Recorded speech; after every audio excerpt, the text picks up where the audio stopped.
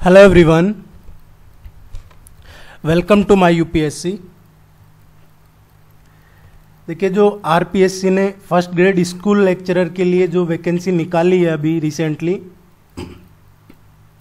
Six thousand के around vacancies हैं total काफ़ी सब्जेक्ट्स हैं इसमें। आपने नोटिफिकेशन देख लिया होगा, उसके ऑनलाइन फॉर्म अभी भरे जा रहे हैं। अगर आपने अभी तक फॉर्म अप्लाई नहीं किया है तो आप अप्लाई कर दीजिए। पाँच मई से ऑनलाइन एप्लीकेशन चालू है और ये चार जून तक चलेगा। तो लास्ट डेट पे फॉर्म भरने से अच्छा है कि आप अभी टाइम से अपना फॉर्म फिल कर दीजिए। उसके काफ़ी फ़ायदे भी रहते हैं और फिर एकदम से फॉर्म भर के फ्री होके आप अपनी प्रिपरेशन में लग जाइए। एग्ज़ाम की तैयारी करने के लिए रेगुलर हम डिस्कस करते रहेंगे, लेकिन जो सबसे इम्पोर्टेंट है, वो है आपको जो सिलेबस प्रोवाइड करवाया आरपीएससी ने उस सिलेबस को फॉलो कीजिए थ्रू आउट एंड जो प्रीवियस ईयर के पेपर हैं उनको सॉल्व कीजिए उनको देखिए कि किस तरीके से आर, आपके एग्ज़ाम का पेपर बनाया गया है पहले. ये ए, कुछ इंपॉर्टेंट चीज़ें उसके बाद आप प्रैक्टिस कीजिए जितना हो सके. आपका नॉलेज कॉन्फिडेंस ये बढ़ना चाहिए. तभी आपकी प्रिपरेशन बढ़ेगी तभी आपका सिलेक्शन होगा. ये पहला टेस्ट है रेगुलर बेसिस पे आपको टेस्ट करवाते रहेंगे, हिंदी और इंग्लिश दोनों मीडियम में करवाएँगे। आपके कोई भी सजेशंस हैं तो आप कमेंट सेक्शन में ज़रूर बताएँ। उनको गौर किया जाएगा, उन पर डिस्कस करेंगे। इस टेस्ट में कहीं लगता है आपको किसी क्वेश्चन का आंसर डाउटफुल है तो भी आप कमेंट कर सकते हैं। आप चैनल को सब्सक्राइब कर लीजिए, ताकि आपको रेगुलर टेस्ट मिलते रहेंगे। लेट्स बिगिन राजस्थानी के लिए क्वेश्चन नंबर फ़र्स्ट है राजस्थानी के लिए साहित्य अकादमी अवार्ड 2021 से किसे सम्मानित किया गया? साहित्य अकादमी अकादमी दो, अवार्ड 2021 से किसको सम्मानित किया गया है? देखिए, जो साहित्य अकादमी है, ये कहाँ पे है? ये है न्यू दिल्ली में। नई दिल्ली में है ये। कहाँ पे है? कमानी सभागार, सुना होगा आपने, कमानी सभागार। कमानी सभागार है, वहीं पे है ये साहित्य अकेदमी, जो 2021 का हुआ था। इसमें चीफ गेस्ट कौन थे? इसमें जो चीफ गेस्ट थे, वो थे बालचंद्र नेमाड़े। बालचंद्र नेमाड़े ये महाराष्ट्र के कवि हैं, लेखक हैं क्रिटिक्स हैं। तो ये इसमें चीफ गेस्ट थे साहित्य अकादमी अवार्ड 2021 में। ये क्वेश्चन पूछा जा सकता है कि कौन चीफ गेस्ट थे, मुख्य अतिथि कौन थे? ये चीज़ क्लियर हो गई आपकी। अब दूसरा, इसमें टोटल 24 भाषाओं को पुरस्कार दिया है, जिसमें राजस्थानी के लिए किसको दिया है? राजस्थानी के लिए जिस काव्य कृति को राजस्थानी जो काव्य कृति है, मुक्ति मुक्ति के लिए दिया है। एक क्वेश्चन बन सकता है कि जो साहित्य अकादमी अवार्ड 2021 दिया है, वो किस कृति के लिए दिया है? ये काव्य कृति है मुक्ति मुक्ति के लिए दिया है। और ये किसने लिखा है? किसकी कृति है इस ये है मिठेश निर्मोही। अब ये क्वेश्चन आपके क्लियर हो गया होगा। साहित्य अकादमी अवार्ड 2021 से कोई क्वेश्चन आता है तो आप उसको 100 परसेंट अच्छे से सही कर पाएँगे। नेक्स्ट क्वेश्चन देखते हैं। अनियंत्रित कलम से बर्बादी होती है। यह प्रसिद्ध कथन किस महापुरुष ने कहा था? देखिए, कहा जाता है, कहा था ये कि an uncontrolled pen serve but to destroy एक अनियंत्रित कलम से बर्बादी होती है। ये कहा था, पत्रकारिता के संदर्भ में कहा था महात्मा गांधी ने। अभी कई पत्रकारों पे देख रहे होंगे आप, पिछले एक दो साल से कई कई स्टेट्स में केस दर्ज हो रहे हैं। कई जगह पत्रकार भी अपनी लिमिट क्रॉस कर जाते हैं। कई बार सरकार अपनी आलोचना सहन नहीं कर पाती है। दोनों ही वजह होती है। जो इस पे गांधी जी का जो मत था, वो था पत्रकारिता का मुख्य उद्देश्य है सेवा करना। यदि कलम को नियंत्रित न किया जाए तो इसके परिणाम नुकसानदेह होते हैं।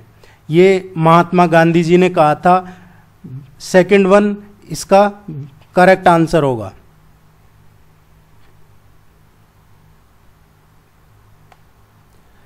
राजस्थान सरकार की नवजीव योजना का उद्देश्य क्या है? नवजीव योजना, ये काफ़ी चर्चा में इसको ज़रूर ध्यान में रखिएगा आप। पहले तो इस नवजीव योजना में क्या है? इसमें टोटल अभी प्रेजेंट में थर्टी कास्ट, तीस जातियों को, जातियाँ शामिल हैं टोटल इसमें। पहले इसमें फोर्टीन, चौदह जातियाँ ही शामिल थी, लेकिन अभी जो बाईस तेईस का बजट घोषणा की है, दो हज़ार बाईस तेईस की, उसमें इन्होंने सोलह और जातियों को इसमें शामिल किया गया है।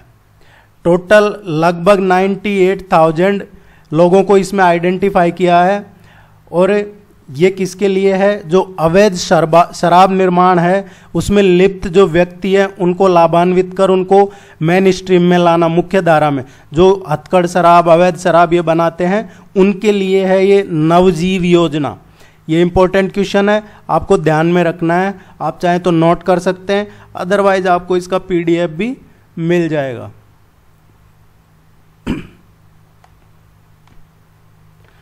नेक्स्ट क्वेश्चन देखते हैं। मार्च 2022 में स्मार्ट सिटी मिशन की रैंकिंग में कौन सा राज्य शीर्ष पर है? अभी मार्च 2022 में ये रैंकिंग हुई है स्मार्ट सिटी मिशन की। इसमें जो टॉप पे है टॉप पे इसमें है, राजस्थान इसमें टॉप पे है, स्मार्ट सिटी में, स्टेट में। इससे पहले 2020 में भी, जुलाई 2020 में हुई थी, जब भी राजस्थान इसमें टॉप पे था, स्मार्ट सिटी मिशन की जो रैंकिंग थी उसमें। इस तरीके के क्वेश्चन आपके एग्ज़ाम में पूछ लिए जाते हैं। देखिए, आपका सिलेबस अच्छे से कवर करवाया जाएगा और ना सिर्फ़ सिलेबस कंप्लीट करवाएँगे, बल्कि उसका रिवीजन भी आपको करवा देंगे। आप सब्सक्राइब ज़रूर कर लीजिएगा। स्वतंत्रता के बाद जयपुर में आयोजित भारतीय राष्ट्रीय कांग्रेस अधिवेशन के अध्यक्ष कौन थे?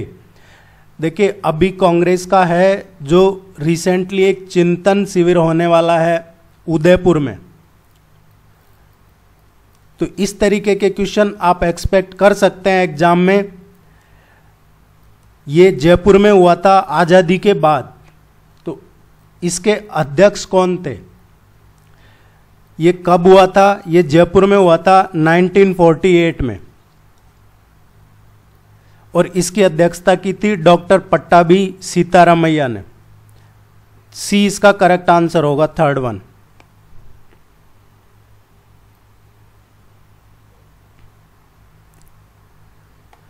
पुस्तक टारगेट थ्री बिलियन। ये बुक है, इसका नाम है, इसका टाइटल था बुक का, टारगेट थ्री बिलियन। इस टारगेट थ्री बिलियन के राइटर कौन है? आपके, चाहे एंशियंट मेडाइवल, ज़्यादातर तो मेडाइवल का ही पूछा जाता है, आर्ट कल्चर से कि बुक बुक की बात कर रहा हूँ मैं तो बुक के राइटर कौन है, या फिर जो फ़ेमस हो पर्सनैलिटी उनकी पूछ ली जाती है, लेकिन बुक के राइटर से रिलेटेड क्वेश्चन आता है आपके एग्ज़ाम में, आप प्रीवियस ईयर के क्वेश्चन उठा के देखेंगे, आपको मिलेगा। टारगेट थ्री बिलियन है, इसके राइटर हैं missile man doctor A P J Abdul Kalam. C इसका थर्ड वन से करेक्ट आंसर होगा।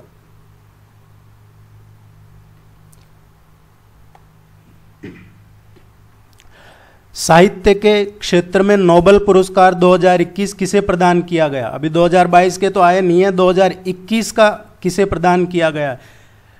साहित्य की बात हो रही है, लिटरेचर के फ़ील्ड में किसे दिया है नोबल प्राइज?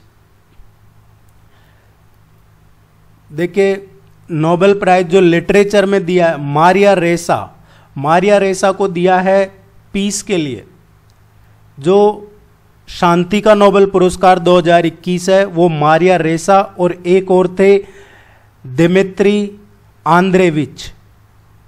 दिमित्री आंद्रेविच और मारिया रेसा इन दोनों को दिया था। ये दोनों ही पत्रकार हैं।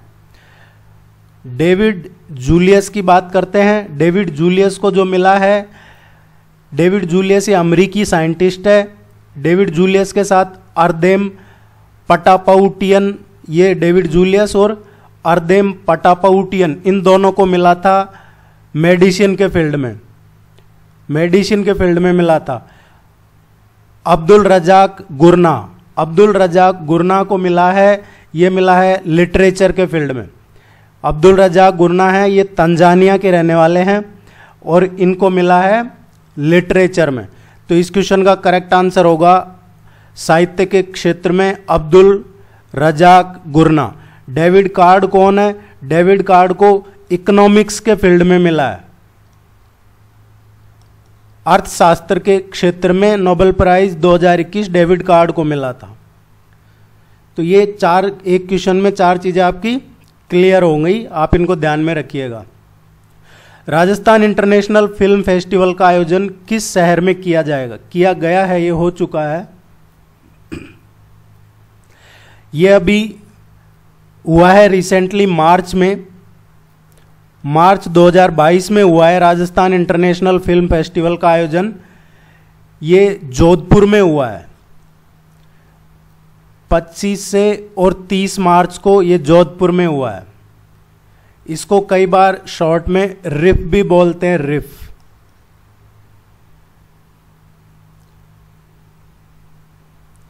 नेक्स्ट क्वेश्चन देखते हैं। मेवाड़ प्रजामंडल के कब प्रथम अधिवेशन कब हुआ था?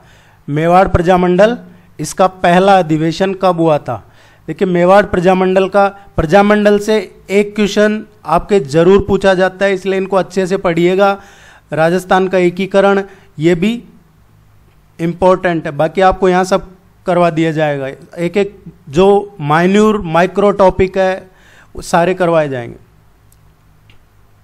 इसका करेक्ट आंसर आएगा नवंबर 1941 नवंबर 1941 में मेवाड़ प्रजामंडल का पहला अधिवेशन हुआ था।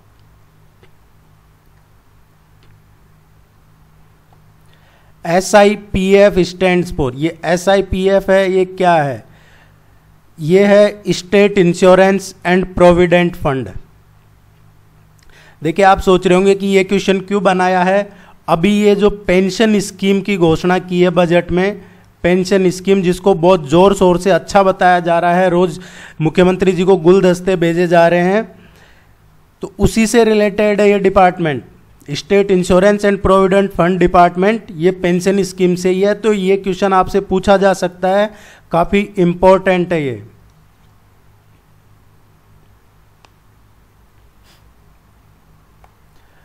बाईस जनवरी से 28 जनवरी के बीच ऑपरेशन सर दवा किस बल द्वारा चलाया गया। ये 22 जनवरी से 28 जनवरी के बीच जो ऑपरेशन शरद हवा चलाया गया है,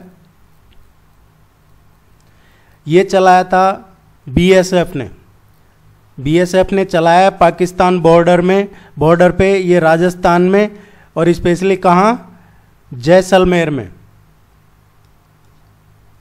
इसको ध्यान रखिएगा, ऑपरेशन सर दवा बीएसएफ ने चलाया है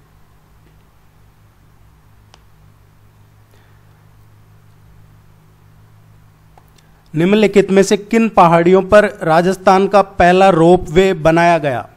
राजस्थान का पहला रोप वे कहाँ बनाया गया है? किन पहाड़ियों पे बनाया गया है? देखिए, सबसे पहले तो ये इम्पोर्टेंट क्वेश्चन है। राजस्थान में कितने रोप वे हैं टोटल जब ये क्वेश्चन आएगा तो आपके दिमाग में ज़रूर आएगा कि कितने टोटल हैं। टोटल अभी चार रोप वे हैं राजस्थान में। चार कहाँ कहाँ पे हैं? प्रेजेंटली चार हैं, उनमें से एक है जालौर में।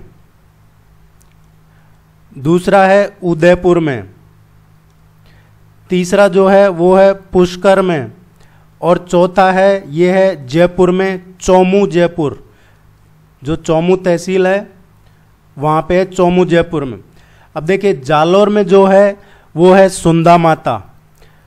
उदयपुर में है मनसापूर्ण करणी माता। और पुष्कर में सावित्री माता और जो ये चौमू में है, सामोद, आप जानते होंगे कई लोग, ये काफ़ी फ़ेमस टूरिस्ट प्लेस भी है, सामोद, हनुमान जी का मंदिर यहाँ पे है। सो पहला कौन सा है? इनमें से जो सबसे पहला है, वो है सुंदा पहाड़ियाँ। कहाँ पे है ये? जालौर में है, भीनमाल में है। जालौर ज़िले में जो भीनमाल है, वहाँ पे है ये। ये 2006 में इसको शुरू किया था।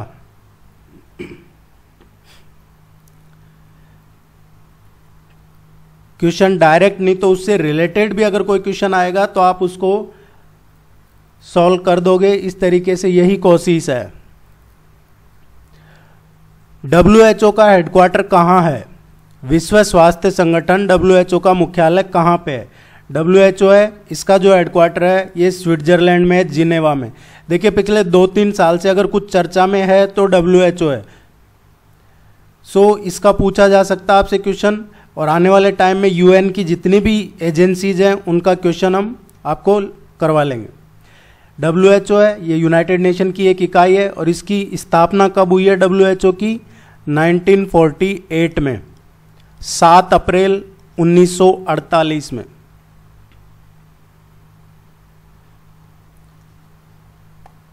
बुलेट प्रूफ जैकेट बनाने के लिए निम्न में से किस पॉलीमर मैट्रिक का उपयोग किया जाता है?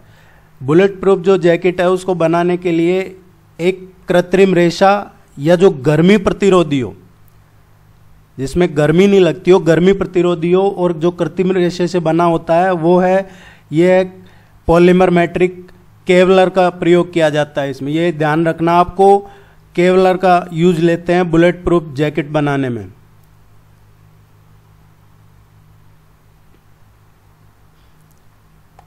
कौन सी एनजीओ भारत की पर्यावरणीय रिपोर्ट देती है? कौन सी एनजीओ है जो भारत की पर्यावरण से रिलेटेड रिपोर्ट देती है? ये है डेवलपमेंट अल्टरनेटिव्स। डेवलपमेंट अल्टरनेटिव्स ये एनजीओ है और इसकी स्थापना कब हुई थी? 1982 में।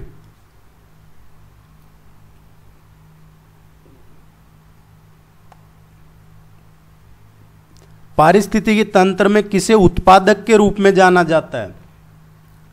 ये काफ़ी इंपॉर्टेंट टॉपिक है, इसको आप अच्छे से करना। पारिस्थितिकी तंत्र है, उसमें उत्पादक क्या होता है कि जो उसके ऊपर के लेवल के हैं, जो ऊपर के स्तर वाले जो प्राणी है या जीव हैं, उनको खाना प्रदान करते हैं ये।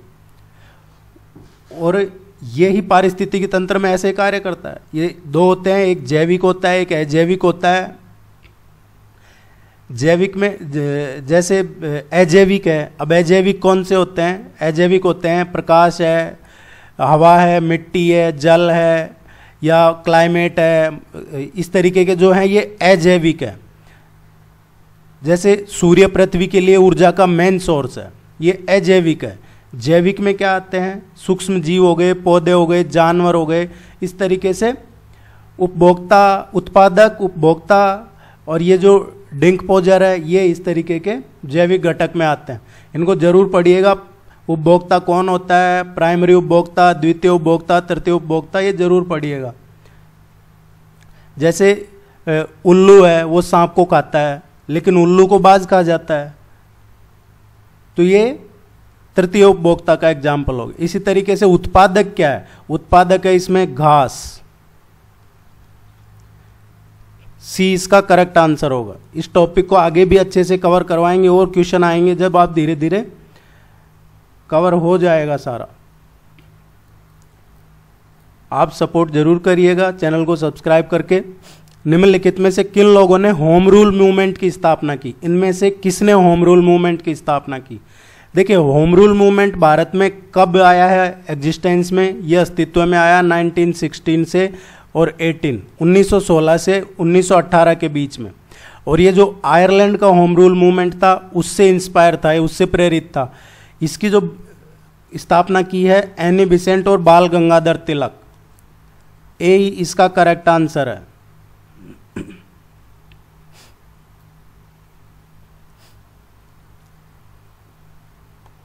नेक्स्ट देखते हैं, नेक्स्ट क्वेश्चन। निम्नलिखित में से किसने 1909 में भारतीय राष्ट्रीय कांग्रेस के लाहौर अधिवेशन की अध्यक्षता की थी। देखिए, लाहौर के दोनों ही अधिवेशन इंपॉर्टेंट है 1909 और उन्नीस सौ उनतीस, जिसकी अध्यक्षता पंडित नेहरू ने की थी, जवाहरलाल नेहरू ने, जिसमें पूर्ण स्वराज स्वराज की मांग उठाई थी। वो उन्नीस सौ उनतीस का भी लाहौर में हुआ था। वो बताइएगा आप कौन सा था, बयालीसवा था या चवालीसवा था कांग्रेस का अधिवेशन? 1909 में 1909 में जो भारतीय राष्ट्रीय कांग्रेस का लाहौर अधिवेशन था। उसकी अध्यक्षता की थी पंडित मदन मोहन मालवीय ने।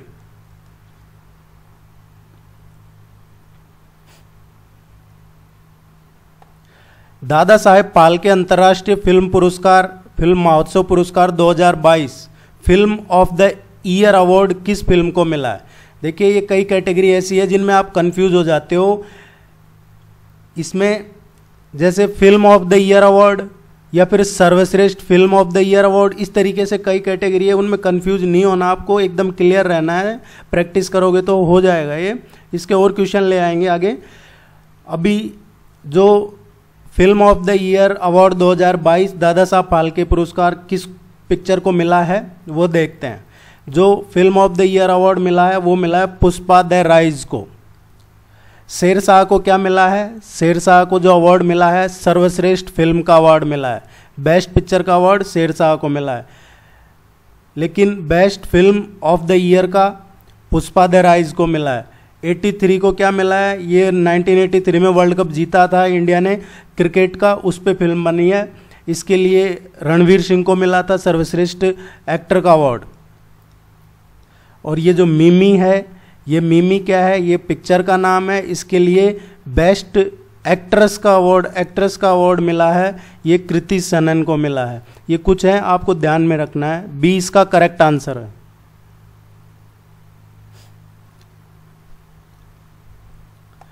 दौसा शहर का नाम किस पहाड़ी के नाम पर पड़ा है? ये क्वेश्चन पूछे जाते हैं कई बार एग्ज़ाम में। चर्चा में रहते हैं, जो टॉपिक वही पूछे जाते हैं। देखिए, यहाँ पे जो ये पहाड़ी है दौसा में, इस पर एक नीलकंठ महादेव का बहुत फ़ेमस मंदिर है, इसी पहाड़ी पे। और यहाँ एक, जो लगातार कई एग्ज़ाम्स में क्वेश्चन पूछा जाता है, लक्खी मेला। लक्खी फेयर है, ये इसी पहाड़ी पे ऑर्गेनाइज होता है, लक्खी मेला। ये है देवगिरी की पहाड़ियाँ। देवगिरी पर्वत पे नीलकंठ महादेव का लक्खी मेला। दौसा का नाम इसी पे पड़ा है। डी, द, इसका करेक्ट आंसर होगा। निम्न में से कौन सा युग में सही सुमेलित नहीं है? क्वेश्चन को अच्छे से पढ़ना है। कई बार हमारे पास टाइम कम बचता है तो हम क्वेश्चन को पूरा नहीं पढ़ते हैं और गलत कर देते हैं।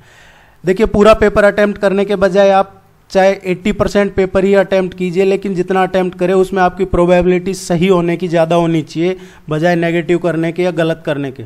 संभाग और एसोसिएट डिस्ट्रिक्ट है। किस संभाग में कौन सा जिला आता है? जयपुर डिवीज़न की बात करें, जयपुर संभाग की, दौसा, सीकर, अलवर। ये बात सही है। देखिए, जयपुर संभाग में दौसा, सीकर, अलवर और जयपुर खुद। तो जयपुर, दौसा, सीकर, अलवर, इसके अलावा एक डिस्ट्रिक्ट और आता है, वो है झुंझुनू। तो ये ये डिस्ट्रिक्ट चार तो पाँच डिस्ट्रिक्ट जयपुर डिवीज़न में हो गए। जोधपुर डिवीज़न में पाली, सिरोही, नागौर, एक खुद जोधपुर। लेकिन जो नागौर है, ये नागौर जोधपुर डिवीज़न में नहीं आता, ये अजमेर डिवीज़न में आता है, अजमेर संभाग में आता है। उदयपुर में राजसमंद, बांसवाड़ा, प्रतापगढ़, उदयपुर, चित्तौड़गढ़, डूंगरपुर ये आते हैं। भरतपुर डिवीज़न में करौली, माधोपुर, धौलपुर और इसके अलावा भरतपुर खुद ये आते हैं। तो आप इनका ज़रूर देखिएगा, ये क्वेश्चन आता है एग्ज़ाम में, कई बार पूछ लिया जाता है। इसका जो करेक्ट आंसर होगा कि गलत कौन सा है, ये है। क्योंकि नागौर अजमेर डिवीज़न में आता है। अजमेर डिवीज़न में कौन कौन से आते हैं? खुद अजमेर, भीलवाड़ा, टोंक और नागौर। ये अजमेर डिवीज़न में आते हैं। आप मैप अच्छे से ज़रूर पढ़ लीजिएगा। एग्ज़ाम की प्रिपरेशन जो सीरियसली कर रहे हैं, मैप के बिना कुछ नहीं होगा। आपकी जियोग्राफी मैप से ही क्लियर होगी। देखिए कॉम्पिटिटिव एग्ज़ाम में एक एक मार्क्स की लड़ाई होती है। लॉर्ड रिपन ने हंटर आयोग का गठन किस लिए किया था? लॉर्ड रिपन ने हंटर आयोग का गठन कब किया था? पहले तो हम इस पर चर्चा करते हैं। ये न 1882 में, अठारह में हंटर आयोग लॉर्ड रिपन ने इसका विलियम हंटर की अध्यक्षता में इसका गठन किया था। हंटर आयोग के अध्यक्ष कौन थे? William Hunter. और इसका काम क्या था? इन्होंने कई सजेशन दिए थे सुधार एजुकेशन रिफॉर्म के लिए एलिमेंट्री और हायर एजुकेशन में प्रारंभिक और हाँ, उच्च शिक्षा में कई सुधार के लिए इन्होंने सुझाव दिए थे। तो इसका करेक्ट आंसर आएगा भारत में शिक्षा सुधार के लिए हंटर आयोग लॉर्ड रिपन ने अपॉइंट किया था।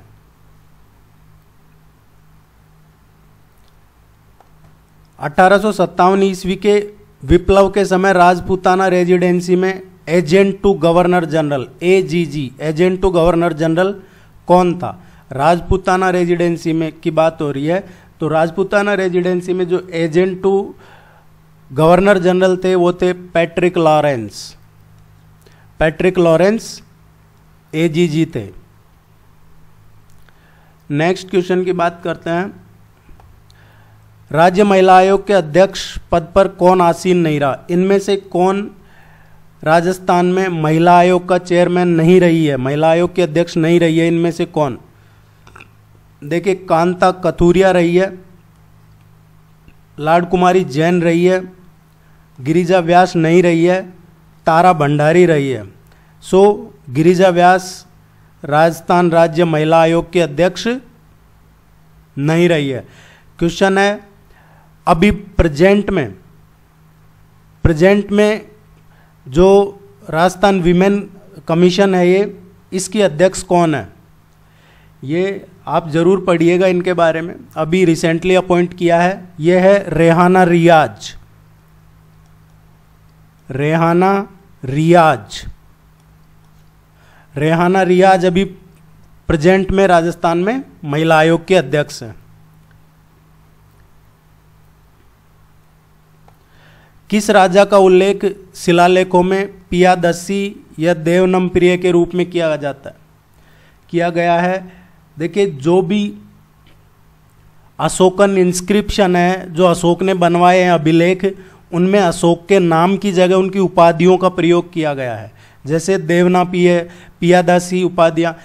जो देवना पिय है देवनम प्रिय इसका मतलब क्या होता है? देवनम प्रिय ये देवताओं का, को भी प्रिय और पियदसी का अर्थ होता है जो दिखने में सुंदर हो। इसका करेक्ट आंसर आएगा सी अशोक। उम, आप उम्मीद है आपने चैनल सब्सक्राइब कर लिया होगा। जो भी आपकी सजेशन है कमेंट सेक्शन में ज़रूर डिस्कस करें। कोई भी क्वेरी हो आपके एग्ज़ाम से रिलेटेड आप ज़रूर पूछ सकते हैं। All the very best good luck thank you very much